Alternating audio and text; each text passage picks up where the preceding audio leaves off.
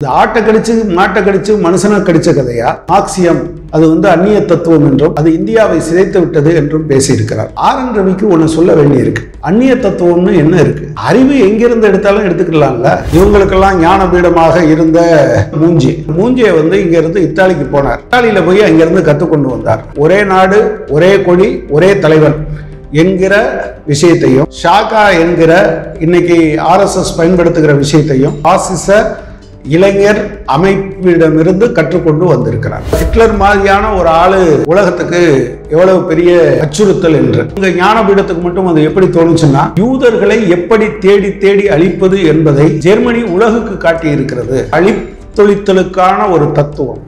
கொலையை கொண்டாடுகிற ஒரு தத்துவத்தை வெளிநாட்டிலிருந்து கடன் வாங்கி கொண்டு வைத்துக்கொண்டு அதை வச்சுக்கிட்டு இவர் பேச்சு வேற பேசுறார். மார்க்சிய தத்துவம் சிதைத்து விட்டது. தமிழ் படத்துல சில வசனங்கள்ல வரும்.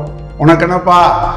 நீ வந்து எதை வேணாலும் பேசலாம் அப்படின்னு. வாட்ஸ்அப் யூனிவர்சிட்டியில் பயின்று வந்து அது நாங்கள் வந்து ஆளுநராக இருந்துக்கிட்டு எதை வேணாலும் பேசுவேன் பேசக்கூடாது. சோவியத் யூனியனும் சோவியத் முகாம் என்று ஒன்று இருந்த பிறகு உலகத்தில் எந்த அமெரிக்கா உட்பட எந்த நாடும் இன்னொரு நாட்டின் மீது கால் வைக்க கை வைக்க ஒருபடி மண் எடுக்க அனுமதித்ததே இல்லை அது போன பிறகுதான் வந்து ஈராக்கில் படையெடுத்தான் அது போன பிறகுதான் லிபியாவில் படையெடுத்தான் அது போன பிறகுதான் சிரியாவை சதைச்சிட்டு இருக்காங்க. ஆர் என் ரவி அவர்களே உங்களுக்கு வரலாறும் தெரியவில்லை. எந்த அறிவு நாணயமும் இல்லை. அதனால் வாய்க்கு வந்தபடி பேசுகிறீர்கள். மார்க்சியம் உலகத்தை சிதைத்த தத்துவம் அல்ல உலகத்தை செதுக்கிய தத்துவம். செதுக்கியதை சிதைத்தது என்று சொல்லுவது மூளை சிதைந்தவர்களின் சிந்தனை. வணக்கம். தமிழ்நாட்டினுடைய ஆளுநராக பதவியேற்றதிலிருந்து ஆர் என் ரவி அவர்கள் ஆளுநர் வேலையை தவிர மீதி அனைத்து வேலைகளையும் செய்து கொண்டிருக்கிறார். அவர் வேற ஏதாவது வேலை பார்த்துட்டு போட்டோம் நமக்கு ஒன்றும் பிரச்சனை இல்லை. ஆனால் ஒரு அறிவியலுக்கு ஒவ்வாத முறையிலும் இந்திய அரசமைப்பு சட்டத்திற்கு எதிராகவும் தமிழகத்தினுடைய முற்போக்கு விழுமியங்களுக்கு எதிராகவும் தொடர்ச்சியாக பேசுவதை தன்னுடைய வழக்கமாக கொண்டு இருக்கிறார் இந்த ஆட்டை கடிச்சு மாட்டை கடிச்சு மனுஷனை கடிச்ச கதையா? இப்போ வந்து அவர் வந்து மார்க்சியம் அது வந்து அந்நிய தத்துவம் என்றும் அது இந்தியாவை சிதைத்து விட்டது என்றும் பேசியிருக்கிறார். ஆர் என் ரவிக்கு ஒன்று சொல்ல வேண்டியிருக்கு. அந்நிய தத்துவம்னு என்ன இருக்குது அறிவு எங்கிருந்து எடுத்தாலும் எடுத்துக்கலாம்ல? நீங்கள் வந்து சென்றிடுவீர் எட்டு திக்கும் கலை செல்வங்கள் யாவும் குழந்தை இங்கு சேர்ப்பீர் என்று பாரதி சொன்னார். அவர் வந்து ஆர் என் ரவியை விட பல மொழிகள் கற்றுத் தேர்ந்தவர் ஏராளமான புத்தகங்களை எழுதியிருக்கிறார். ஒரு மிகப்பெரிய கவிஞனாக இருந்தவர் தேசிய போராட்டத்தில் கலந்து கொண்டவர். அவருக்கு தெரிஞ்சிருக்கு நம்ம எவ்வளவுதான் தமிழ்நாட்டில் இருந்தாலும் இன்னும் கொஞ்சம் வெளியில் இருக்கிற செல்வங்களை எல்லாம் கொண்டு வந்து சேர்ப்போம். எனக்கு தெரிந்தது மட்டுமே அனைத்தும் என்று நினைப்பது ஒரு அறிவுடைமையான ஒரு மனப்பாங்கு இல்லை. எப்போதுமே கற்றுத் தேர்ந்தவர்களுக்கு தாங்கள் வந்து இன்னும் கற்க வேண்டியது அதிகம் இருக்குது என்று நினைப்பார்கள். இது ஒரு பக்கம் இருக்கட்டும். இப்போ நீங்கள் வந்து நியூட்டனையோ அல்லது ஐன்ஸ்டீனையோ பித்தாகரஸையோ அந்நிய தத்துவம் என்று தள்ளிவிடுவீர்களா? கம்ப்யூட்டர் இந்தியாவிலேயே கண்டுபிடிச்சாங்க. நீங்கள் உடனே வந்து இந்த மாதிரி ஏராளமான விஷயத்தை சொல்லிக்கொண்டே போக முடியும். பிரச்சனை என்னன்னா அவர் அந்நிய தத்துவம் என்று மார்க்சியத்தை சொல்லுகிறார். ஆனால் ஆர்எஸ்எஸ் இவர் இவருக்கு வந்து தலைவராக இருக்கக்கூடிய மோடி அவருக்கு தலைவராக இருக்க மோகன் பகவத் இவங்களுக்கெல்லாம் ஞானபீடமாக இருந்த அந்த அந்த அந்த ஆர்எஸ்எஸ்ஸை உருவாக்கிய ஹெட்கேவர் அவருக்கு ஞானபீடமாக இருந்த மூஞ்சி. இதெல்லாம் ஆர் என் ரவிக்கு தெரியுமா? இந்த மூஞ்சியை வந்து இங்கேருந்து இத்தாலிக்கு போனார். இத்தாலியில் போய் அங்கேருந்து கற்றுக்கொண்டு வந்தார். ஒரே நாடு ஒரே கொடி ஒரே தலைவன். என்கிற விஷயத்தையும் ஷாகா என்கிற இன்னைக்கு ஆர்எஸ்எஸ் பயன்படுத்துகிற விஷயத்தையும் பலில்லா என்கிற ஃபாசிஸ்ட் யூத் ஆர்கனைசேஷன் ஃபாசிச இளைஞர் அமைப்பிடமிருந்து கற்றுக்கொண்டு வந்திருக்கிறார். இது அவரே சொல்லியிருக்கார். அந்த அமைப்பில் என்னெல்லாம் சொல்லி கொடுக்குறாங்கன்னு வேற சொல்லியிருக்கார். நம்முடைய பையங்களை எல்லாம் கொலை செய்வதற்கு தகுதியானவர்களாகவும் பொருத்தமானவர்களாகவும் நாம் உருவாக்குறது தான் இந்த ட்ரைனிங்கோட நோக்கம் என்று. இதை எங்கேருந்து கற்றுக்கிட்டு வந்தாங்கன்னா முசோலினிகிட்ட இருந்து கற்றுக்கிட்டு வந்தாங்க அவங்க வழிபடுகிற கொடி வணக்கம் மார்பிலிருந்து மார்பில் கை வைத்து வணங்குகிற முறை ஸ்வஸ்திக் இதெல்லாம் ஹிட்லர்ட்டிருந்து கடன் வாங்கினது. அவங்க வந்து ஒரு பாடத்தை சொல்லியிருக்காங்க. எல்லாரும் ஹிட்லர்ட்டிருந்து ஒரு பாடத்தை உலகமே கற்றுக்கொண்டு இருக்கிறது அந்த ஹிட்லர் மாதிரியான ஒரு ஆள் உலகத்துக்கு எவ்வளவு பெரிய அச்சுறுத்தல் என்று. ஆனால் இவருக்கு ம இவங்க இவங்க ஞானபீடத்துக்கு மட்டும் அது எப்படி தோணுச்சுன்னா யூதர்களை எப்படி தேடி தேடி அழிப்பது என்பதை ஜெர்மனி உலகுக்கு காட்டியிருக்கிறது. அவர்களிடமிருந்து கற்றுக்கொள்வதற்கு நமக்கு இருக்கிறது. அழிப்பு அழித்தொழித்தலுக்கான ஒரு தத்துவம். கொலையை கொண்டாடுகிற ஒரு தத்துவத்தை வெளிநாட்டிலிருந்து கடன் வாங்கி கொண்டு வைத்துக்கொண்டு அதை வச்சுக்கிட்டு இவர் பேச்சு வேற பேசுகிறார் நீங்கள்லாம் வெளிநாட்டு தத்துவம் நாங்கள் உள்நாட்டு தத்துவம். ஆரன் ரவி இதை மறுக்கட்டும். ஆக்சுவலாக மூஞ்சையே அவருடைய டைரியில் எழுதி வச்சுருக்கார். இப்போ இந்த இந்த இந்த வாட்ஸ்அப் யூனிவர்சிட்டியில் பயின்று வந்து அது நாங்கள் வந்து ஆளுநராக இருந்துக்கிட்டு எதை வேணாலும் பேசுவேன் பேசக்கூடாது. அடுத்ததாக அவர் சொல்லியிருக்கிறார். மார்க்சிய தத்துவம் சிதைத்து விட்டது. உங்களுக்கு தமிழ் படத்தில் சில வசனங்களில் வரும். உனக்கு என்னப்பா? நீ வந்து எதை வேணாலும் பேசலாம் அப்படின்னு. ஆளுநருங்கிற ஒரு பாதுகாப்பை பயன்படுத்தி கொண்டு எதை வேண்டுமானாலும் பேசலாமா? அவருக்கு நான் சொல்லிக்கொள்ள விரும்புகிறேன் அவர் ஏதோ ஆப்ரஹாம் லிங்கன் கடைசி வரை பெண்களுக்கு வாக்குரிமையை கொடுக்கறதுல எதிர்த்தாருன்னு ஆனால் அவர் சிதைச்சதாக சொல்கிறார்ல மார்க்சியம். அது ஆட்சி பொறுப்புக்கு வந்த சோவியத் யூனியன் தான் ஆயிரத்தி தொள்ளாயிரத்தி பதினேழில் முதல் முதலாக வயது வந்த அனைவருக்குமான வாக்குரிமையை உத்தரவாதப்படுத்தியது. அதில் பெண்களும் அடக்கம். சொல்லுங்க பார்க்கலாம் நீங்கள் உங்கள் தத்துவத்தில் எங்கேயாவது சொல்லியிருக்கீங்களா? உங்கள் மோகன் பகவத் இப்போவும் என்ன சொல்லிட்டு இருக்காருன்னா இல்லை இல்லை இது ஒரு ஒப்பந்தம். கணவனும் மனைவியும் இருப்பது. மனைவி வந்து வீட்டில் சமைச்சுக்கிட்டே இருக்கணும். குழந்தைகளை பார்த்துக்கணும். ஹஸ்பண்ட் மட்டும்தான் வேலைக்கு போகணும். இப்படி சொல்கிறது யார்? மோகன் பகவத். வெக்கப்படணும் ஆர். என். ரவி இப்படி ஒருவருடைய இப்படி இப்படி ஒரு தத்துவத்தின் தலைவராக இருக்கிறவரை நாம் கொண்டிருக்கிறோமே என்று வெக்கப்படணும் அவர் வந்து என்னென்னா போகிற போக்கில் அந்த பக்கம் ஆப்ரஹாம் லிங்கனுக்கு ஒரு பெண்களுக்கு வாக்குரிமை கொடுக்கணும்னு கொடுக்கலைன்னு ஒரு அடி அடிக்கிறது. இந்த பக்கம் மார்க்சியத்தின் மேலே அடி. உலகத்தில் பெண்களுக்கு முதல் முதல் வயது வந்த அனைவருக்குமான வாக்குரிமையை உத்தரவாதப்படுத்தியது சோவியத் யூனியன். அவர்கிட்ட சொல்ல விரும்புகிறேன் சோவியத் யூனியனும் சோவியத் முகாம் என்று ஒன்று இருந்த பிறகு உலகத்தில் எந்த அமெரிக்கா உட்பட எந்த நாடும் இன்னொரு நாட்டின் மீது கால் வைக்க கை வைக்க ஒருபடி மண் எடுக்க அனுமதித்ததே இல்லை. அது போன பிறகுதான் வந்து ஈராக்கில் படையெடுத்தான் அது போன பிறகு தான் லிபியாவில் படையெடுத்தான் அது போன பிறகு தான் சிரியாவை சதைச்சிட்டு இருக்காங்க. இதெல்லாம் வந்து தெரியாது. ஒன்று சொல்கிறேன் இந்தியாவிலேயே மார்க்சியம் என்கிற ஒன்றை அப்போது தான் அது இளம் பிள்ளையாக இருந்தது. அப்போது ஆர்எஸ்எஸ் பிறக்கவில்லை. கம்யூனிஸ்ட் இயக்கம் ஆயிரத்தி தொள்ளாயிரத்தி இருபதில் தோன்றியது. இருபத்தி ஒன்றில் கம்பீரமாக ரெண்டு பேர். நீங்கள் எந்த முஸ்லீம்களையெல்லாம் அழித்தொழிப்பதை நீங்கள் ஜெர்மன்லேருந்து கடன் வாங்கிட்டு வந்தீங்கன்னு சொன்னீங்கல்ல அந்த ஒரு முஸ்லீம் அவர் வந்து ஒரு கம்யூனிஸ்டாகவும் இருந்தார். மௌலானா ஹசரத் மொஹானி. காங்கிரஸ் மாநாட்டில் கம்பீரமாக எழுந்து போய் இந்தியாவிற்கு பூரண சுதந்திரம் வேண்டும் என்பதை கம்பீரமாக ஒழித்தார். உங்கள்கிட்ட ஒன்று இன்னொன்று சொல்கிறேன் மிஸ்டர் ஆர் என் ரவி. அதை வழிமொழிந்தவர் குமா சாமி குமரானந்தா. அவர் சாமி தான் காவி தான் கட்டிக்கிட்டு இருந்தார். அவர் வந்து கடவுள் எல்லாத்தையும் காப்பாற்றிடுவாருன்னு போயிட்டு தொழிலாளர்கள் படுற கஷ்டத்தை பார்த்துட்டு சரி இவங்களுக்கு இந்த பிறவியில் நம்ம வந்து கொடுப்போம் அப்படின்னு தொழிற்சங்க நடவடிக்கைகளில் ஈடுபட்டவர். ரெண்டு பேரும் கம்யூனிஸ்டுகள். ஆர்எஸ்எஸ் இங்கே எங்கேயாவது இருந்ததா?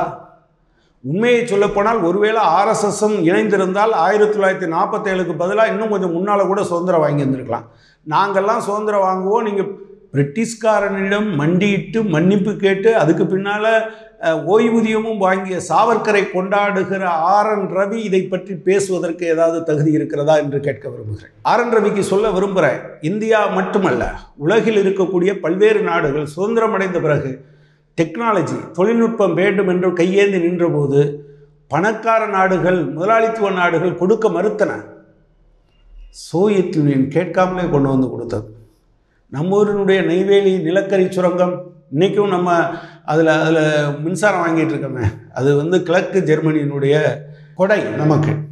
இந்தியாவில் இருக்கக்கூடிய அணுமின் நிலையங்கள் இந்தியாவில் இருக்கக்கூடிய உருக்கு ஆலைகள் இந்தியாவில் பல துறைமுகங்களை கட்டுவது இந்தி இந்தியா இந்திய படையை பலப்படுத்துவதற்காக ஆயுதங்கள் கொடுத்தது ஆயுதத்துக்கான தொழில்நுட்பத்தை கொடுத்தது பயிற்சி கொடுத்தது இதுவெல்லாம் சோவியத் யூனியன் செய்தது. சோவியத் யூனியன் தானா செஞ்சிருமா? அதை வழிநடத்திய மார்க்சிய தத்துவம் அதையெல்லாம் உருவாக்கி கொடுத்தது. உங்களுக்கு தெரியுமா ஆர். என். ரவி அவர்களே? நீங்கள் வந்து உலகத்தை அச்சுறுத்தி கொண்டிருந்த பாசிசத்தையும் நாஜிசத்தையும் நீங்கள் கொண்டாடி கொண்டு இருக்கிறீர்கள் ஆனால் அது உலகம் முழுவதற்குமான அச்சுறுத்தல் என்று வருகிற போது அதை எதிர்த்து போராடி முறியடித்தவர்கள் கம்யூனிஸ்டுகள். நீங்கள் உலகத்தை காப்பாற்றுவதற்காக ரெண்டு கோடி ரஷ்யர்கள் அப்போது அவர்களுடைய ஜனத்தொகையில் அது பத்து சதவீதம். ரெண்டு கோடி ரஷ்யர்கள் தங்கள் உயிரை கொடுத்து உலகத்தை பாசிசம் நாசிசத்திலிருந்து காப்பாற்றினார்கள். முசோலினியையும் ஹிட்லரையும் டூஜோவையும் தோற்கடித்து ஓட விரட்டினார்கள். நீங்கள் அதை விடுங்க இப்போ சமீபத்தில் கொரோனா வந்தது. கைதட்டுங்க மணி அடிங்க என்று உங்கள் பிரதமர் சொல்லிகிட்டு இருந்தார். ஆனால் ஒரு சின்ன சிறு கியூபா. நம்ம சென்னை மாநகரம் இருக்குல்ல அதனுடைய மக்கள் தொகையை விட அவர்களுடைய மக்கள் தொகை குறையும். கிட்டத்தட்ட அறுபது வருடமாக அந்த நாட்டின் மீது அமெரிக்கா பொருளாதார தடை விதித்திருக்கிறது. மோடிக்கு நண்பர்னு சொன்னார்ல ட்ரம்ப்பு அவர் இருக்க நாடு. ம ரவிக்கு அதெல்லாம் ஞாபகப்படுத்த வேண்டியிருக்கு. அந்த நாட்டில் இருந்தவங்க உடனடியாக உலகம் முழுவதும் அதை தன்னுடைய மருத்துவர்களை அனுப்பி வைத்தது கியூபா.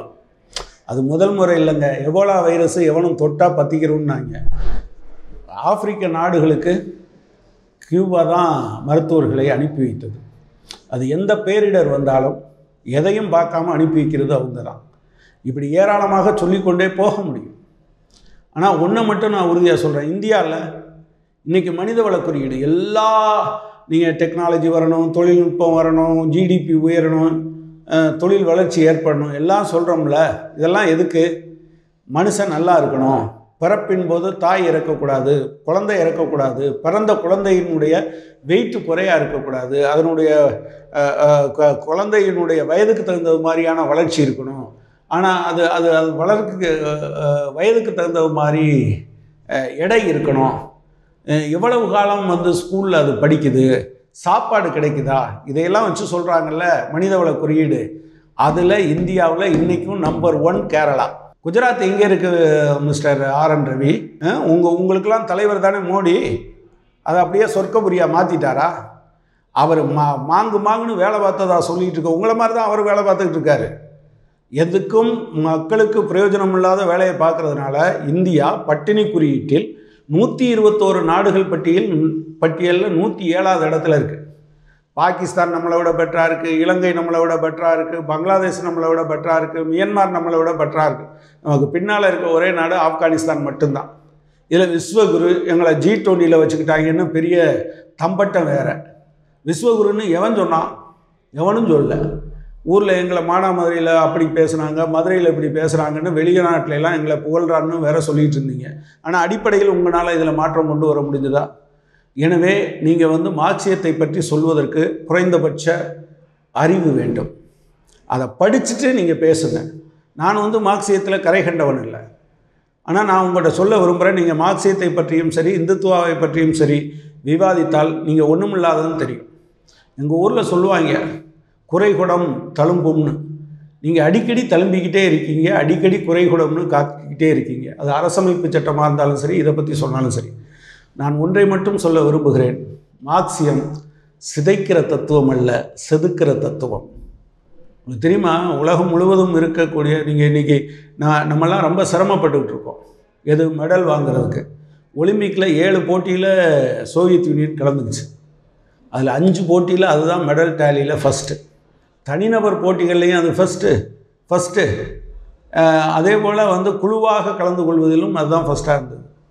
நீங்கள் வந்து மார்க்ஸ் இந்தியாவை சமூக கோட்பாடுகளை கேள்விக்குள்ளாக்கினார் என்று பேசியிருக்கீங்க. ஆமாம் ஜாதி அப்படியே கொண்டாடலாமா? பெண்ணடிமைத்தனத்தை கொண்டாடலாமா? உடன்கட்டை ஏறுவதை கொண்டாடலாமா? இதெல்லாம் இந்தியாவில் கோட்பாடாக இருந்ததில்ல என்ன சொல்ல விரும்புகிறேன்னா நீங்கள் போலிகள். உங்களுக்கு நீங்கள் பசுவை பெரிய பசுவை பற்றி அவர் சொன்னார். மனிதன் குரங்கிடமும் மனித பசுவிடமும் மண்டியிட்டு கொண்டு இருக்கிறார் அவனுடைய மகத்துவம் புரியாமல். கரெக்டு தான். நீங்கள் அப்படி மண்டியிட வச்சதுனால தான்ப்பா நம்ம பெரிய இதுக்கெல்லாம் போகலை. ஆனால் ஒரு பக்கம் பசுவை கொண்டாடுறோன்னு சொல்லிட்டு இன்னொரு பக்கம் பசு இறைச்சியை அந்நிய நாட்டுக்கு ஏற்றுமதி செய்வதில் இந்தியா ரெண்டாவது இடம் பிரேசிலுக்கு அடுத்த இடம். வெக்கப்படணும் நீங்கள் பேசுகிறது ஒன்றா இருக்குது நடக்கிறது ஒன்றா இருக்குது அப்படின்னு. ஆனால் இதே சமயத்தில் உலகில் முதல் முதல் செயற்கைக்கோள் ஏவிய நாடு எது தெரியுமா? Soviet Union. முதல்ல ஒரு உயிரினத்தை அனுப்பி சோதனை செஞ்சது நாடு தெரியுமா? Soviet Union. அந்த நாயோட பேர் லைக்கா ஞாபகத்தில் வச்சுக்கோங்க மிஸ்டர் ரவி. அந்த உலகத்திலேயே முதல் முதல் ஒரு பெண்ணை விண்வெளியில் பறக்க விட்டவங்க யார் தெரியுமா? Soviet union. வாலண்டனா தரஸ்கோவா உலகத்தில் முதல் மனிதன்.